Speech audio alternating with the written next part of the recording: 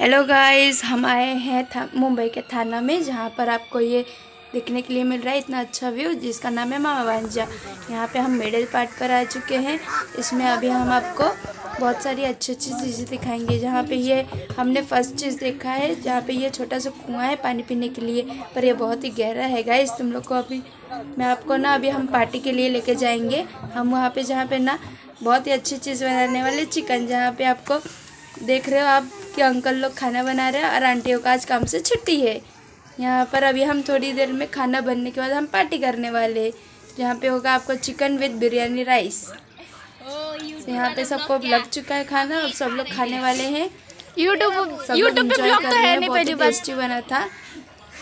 वो भी ओरिजिनल खाना। बेचारे खत्म हो गया आपको चूल्हे पे खाना बनाने के लिए मिला था।